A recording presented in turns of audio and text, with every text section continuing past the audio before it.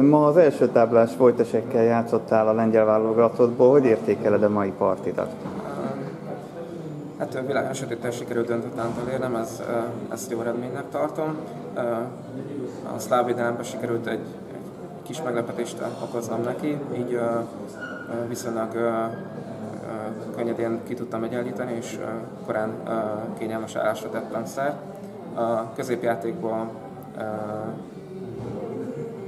egy kis uh, uh, taktikai csetepaté után viszonylag korán leegyszerűsödött az állás, uh, de inkább neki kellett uh, vigyázni, hogy tartsa az egyensúlyt.